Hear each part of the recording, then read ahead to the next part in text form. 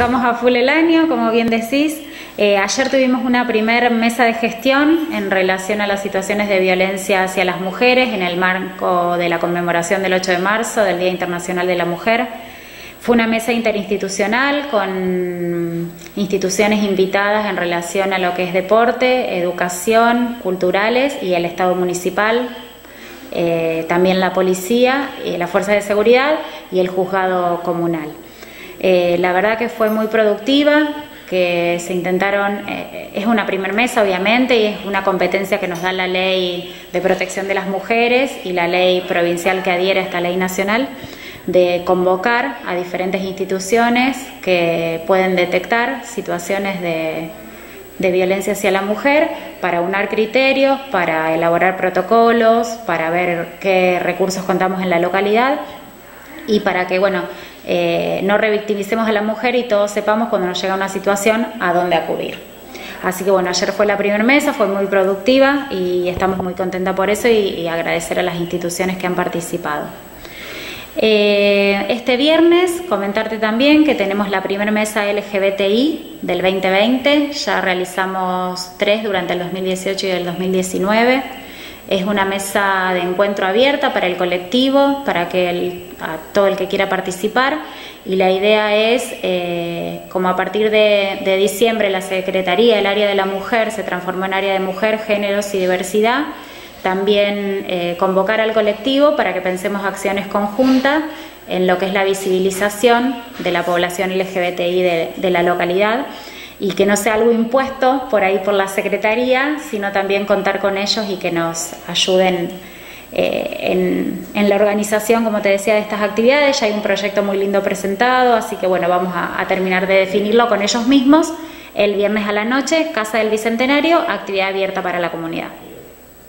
El 18 de marzo vamos a estar viajando con Luciana a la ciudad de Buenos Aires. Hay una jornada Intersix donde vamos a poder socializar con todos los SIC del país. Eh, va a estar el ministro de Desarrollo Social, Daniel Arroyo, y bueno, va a ser una jornada de trabajo de 9 de la mañana a 7 de la tarde para, como te decía, ver las nuevas políticas sociales públicas que van a implementar, eh, contarles sobre el funcionamiento de nuestro SIC, escuchar las experiencias de otros SIC de la nación y bueno, esperemos que nos podamos traer muchas ideas nuevas. Muy bien. Y ese mismo día, eh, Graciela desde el área Mujer, Géneros y Diversidad va a estar llevando adelante otra de las capacitaciones de la ley Micaela. Desde el año pasado que mm, se firmó esta ley Micaela, que es la capacitación en perspectiva de género en todos los estamentos del Estado.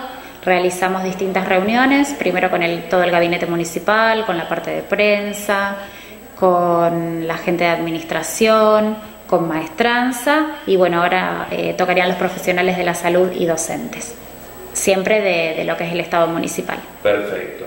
Va a ser en paralelo, mientras tenemos la jornada Intersic, ella va a estar a cargo acá en la localidad de esa tarea. Y el sábado 28, por último, en relación a discapacidad, eh, nuevamente, como todos los años, tratamos de, convocar a una persona de renombre nacional, en este caso a la magíster Norma Filidoro, que es psicopedagoga, que va a trabajar prácticas inclusivas en el contexto escolar.